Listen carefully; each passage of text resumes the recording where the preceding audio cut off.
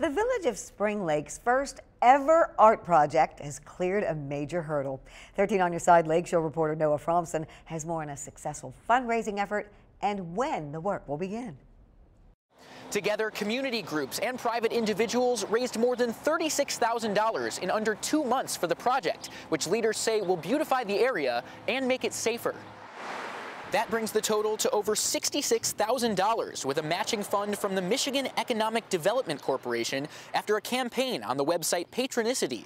The art project will include at least three murals, with the first facing Whistle Stop Playground. They also hope to add some sculptures on the trail. Downtown Development Director Angela Stanford Butler says the community showed up in a big way for the betterment of the village.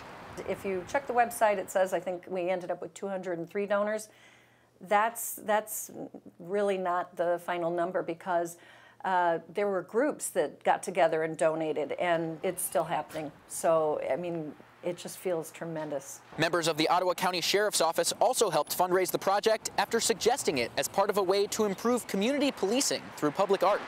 Village leaders are currently planning an open call to artists and will select one by April. Work on the project is expected to start in May and be complete by September. In Spring Lake, Noah Fromson, 13 on your side. 14th annual Winter Beer